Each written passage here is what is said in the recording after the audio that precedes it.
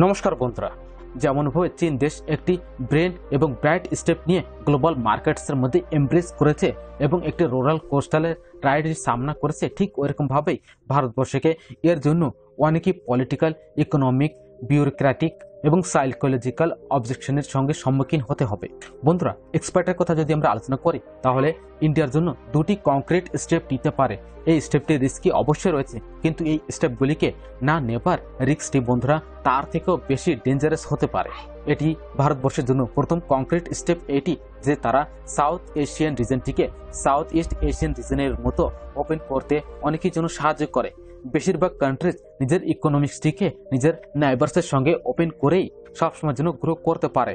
European union এবং north American free trade এগ্রিমেন্টটি এর দুটি বেস্ট এক্সাম্পল সবসময়ের জন্য বলা হয়। আসলে বন্ধুরা পিইউ এবং এনএফটি এর কমপ্লেক্সিটিসটি দেখে এটি বলা মোটেই সঠিক হবে না যে সাউথ এশিয়াও মডেল কপি করতে পারে। কিন্তু তারা নিজের সাউথ ইস্ট এশিয়ান নেবারহুডের মতো নিজেকে ওপেন অবশ্যই রাখতে পারে। এই জায়গায় ইন্ডিয়া এশিয়ান ফ্রি ট্রেড এগ্রিমেন্টের মতো মেকানিজমটিকে নিজের সাউথ এশিয়ান নেবার্সের মাঝে ফর্মুলেট সবসময় করতে পারে। আসলে বন্ধুরা, এর মধ্যে কোনো ডাউট নেই যে ইন্ডিয়া এবং তার কিছু নাইবার্সের রিলেশনটি দেখে এরকমটি করাটি মোটেই অসম্ভব দেখা যাচ্ছে। কিন্তু বন্ধুরা, যদি সাউথ ইস্ট এশিয়ান স্টোরিটি দেখি, তাহলে তার কথার মধ্যেও এরকম ধরনের এলিমেন্ট সবসময়ের জন্য রয়েছে। আসুন সেটি আমরা এবার দেখি। বন্ধুরা, যেমন আমরা আপনাকে বলেছিলাম যে ইন্ডিয়া এবং পাকিস্তানের মাঝে last major war nineteen seventy ওয়ানে হয়েছিল, যখন চায়না এবং ভিয়েতনাম গত দু হাজার বছর ধরে একটি আরেকটিকে দেখাও মোটেই পছন্দ করে না। তারা নিজের লাস্ট মেজর ওয়ারটি নাইনটিন সেভেন্টি নাইনে লড়াই করেছিল।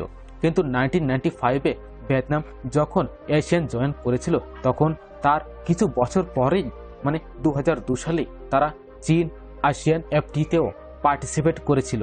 আপনাকে এটি জেনে অবাক হবেন যে মিড নাইনটিন নাইনটিসের পর থেকেই ভিয়েতনাম এবং চীনের মাঝের ট্রেডটি থ্রি থাউজেন্ড টাইমস পর্যন্ত বেশি বেড়েছে।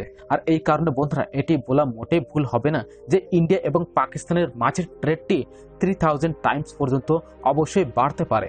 আর যদি এরকমটি হয়, তার সব থেকে বেশি বেনিফিট বন্ধুরা এই দুটি দেশের পোর পপুলেশনটিকে অবশ্যই হবে।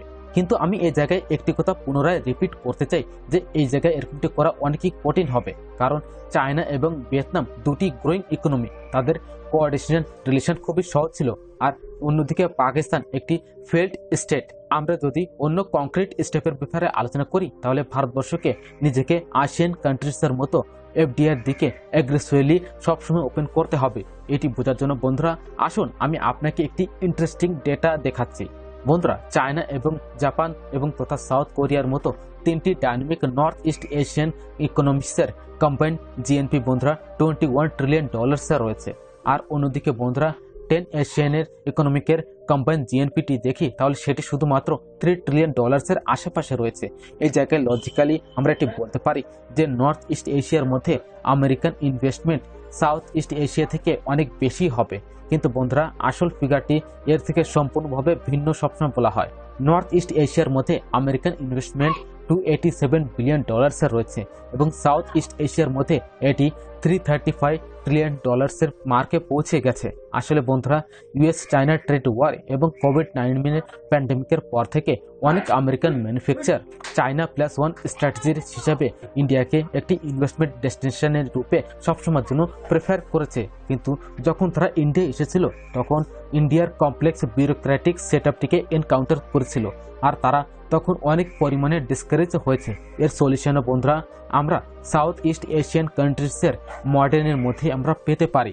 উদাহরণের জন্য বন্ধুরা ইন্ডো এশিয়া ভিয়েতনাম, মালয়েশিয়া এবং থাইল্যান্ডের মতো কান্ট্রিজ নিজের মধ্যে সবসময় সিম্পল এবং ক্লিয়ার ইনভেস্টমেন্ট ব্রোচার সবসময়ের জন্য প্রডিউস করে। ঠিক ওরকমভাবে ভারতবর্ষের মধ্যেও প্রত্যেক স্টেটের মাঝে এরকম ধরনের ব্রাউজার প্রডিউস করার জন্য কম্পিটিশন সবসময়ের জন্য করানো যায়।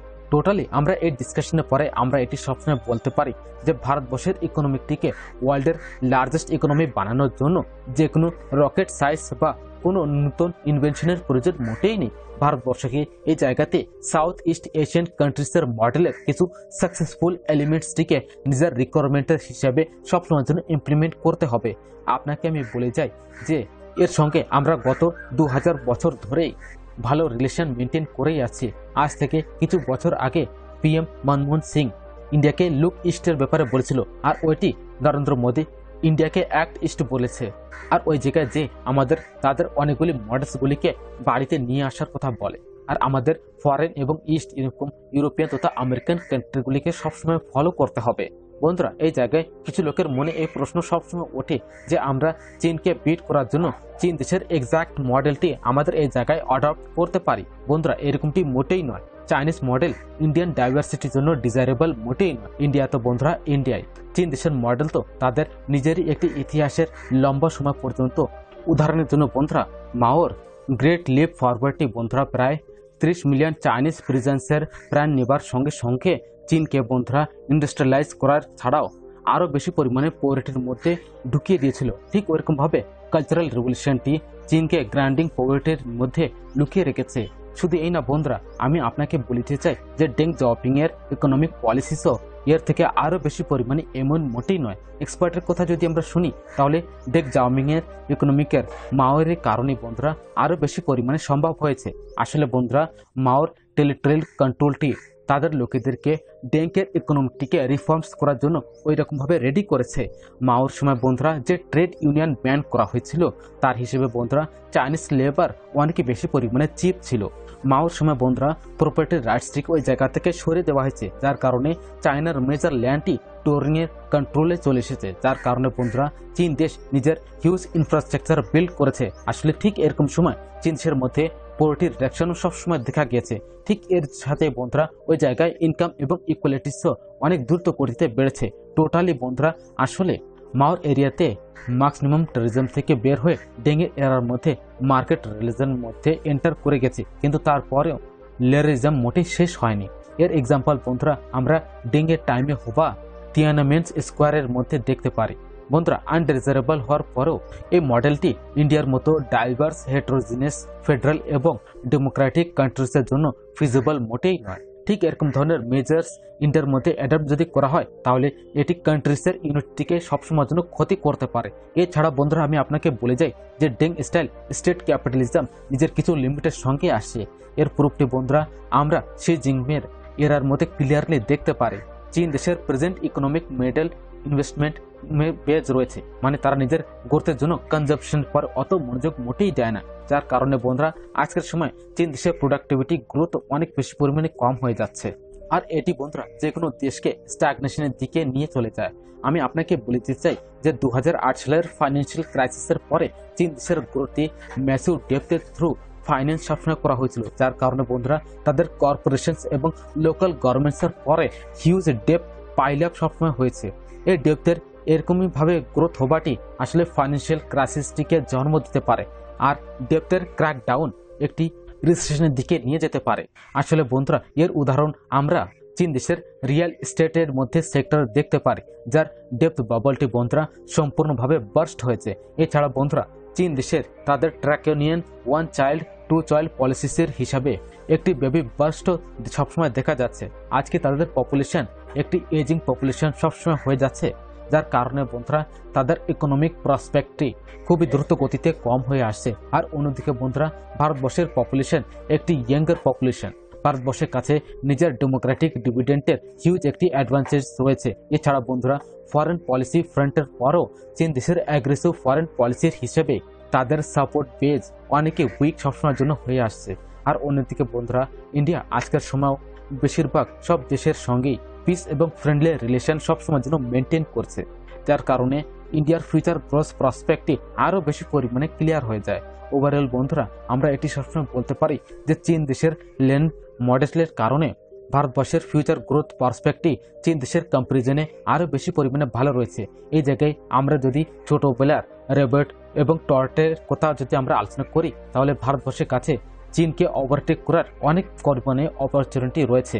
যদি ভারতবর্ষের সময় থাকতে নিজের ডোমেস্টিক পলিসি ফ্লসটিকে ইন্টালেকচুয়াল ক্যাপাসিটির থ্রু ফিক্স করে নেয়, তাহলে আগামী আসা দশকের মধ্যে ভারতবর্ষ এবং চীন দেশের মাঝে হওয়া এই কম্পারিজনটি আরও গোড়া থেকে শেষ হয়ে যাবে। তাহলে বন্ধুরা, এ ছিল একটি কথা।